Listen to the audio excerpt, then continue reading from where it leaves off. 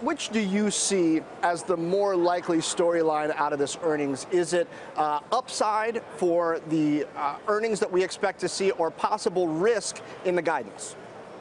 I say upside to earnings. Um, I'm not too concerned about guidance because all of my checks are uh, coming back, particularly for Google and search, particularly for Facebook, uh, social media ad spend, um, Amazon. All of these businesses are operating uh, uh, phenomenally well. So checks are coming back positive, so I think the second quarter numbers will be good for all three of these names I just mentioned. And I think the guidance will be good for all of them. For Amazon, though, they typically guide conservatively, and I think investors are aware of that.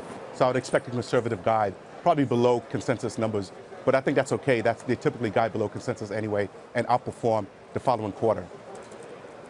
Denny, uh, it seems like expectations must be pretty healthy given where many of these stocks are trading either at or near all-time highs. What are the key things that you expect uh, on these earnings calls and with these results to move the needle one way or the other?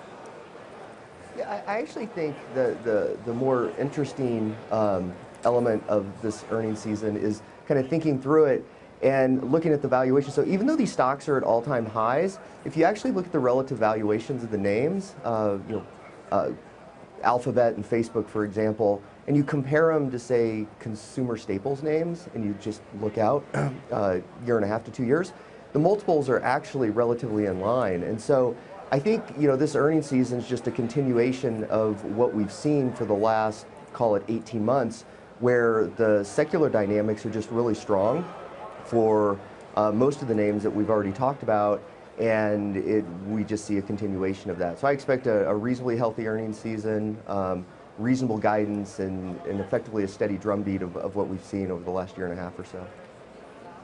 Victor, Facebook has been turning in some monster quarters lately, and we've seen them really pull away. I mean, I remember we used to talk about Facebook and Twitter. Now we just pretty much talk about Facebook. Even right. Snap, um, you know, not looking so strong growth-wise. What do you expect to be the, the attention for that sort of company, that class of company, your Facebook, your Amazon, to some extent your Netflix? Um, is, is, there a certain fundamental number, subscriber numbers that are really going to drive uh, how investors feel about these juggernauts? Well, I think for Facebook in particular, we'll focus on just the advertising revenue growth number. Whether that number accelerates again uh, will be a key determinant factor in, in uh, whether or not the stock continues to run. It's had an impressive run so far, but it's still trading at a discount to the growth rate, 30% EBITDA growth rate over the next three years versus a 14 times to EBITDA multiple. So still trading at a discounted growth, but they will need, I think for the stock to outperform, they will need to re-accelerate revenue growth, advertising revenue growth, and healthy usage numbers. So that's for Facebook. Google, I expect somewhat the same strong top line growth rate. Search is resilient, it's healthy in the face of competition from social media. YouTube just continues to grow like weeds from all the data I'm looking at. They seem somewhat unfazed by the ad backlash recently. And then you have the optionality of moonshots and you have uh, the cloud services business, which is um, growing very, very strong for them. So I think they'll turn in a very, very strong quarter. But I really, for these stocks, since they've had um, such a strong, strong uh, uh, upside so far this year, Amazon and Facebook in particular, not, not so much for Google, um, you need reacceleration of revenue growth for these stocks to continue to outperform significantly over the coming next six months. Reacceleration of revenue growth at, at this size, uh, Victor, I mean, is that something you're counting on or you think is likely? I think it's possible for Facebook. I think it's possible for Amazon. Some of the data I've been looking at, tracking data, that shows very, very healthy usage trends for both Facebook, Instagram, Amazon. Um, Google, I think it's less likely, but I still like the stock. It's a cheap multiple stock, um, hasn't really appreciated as much.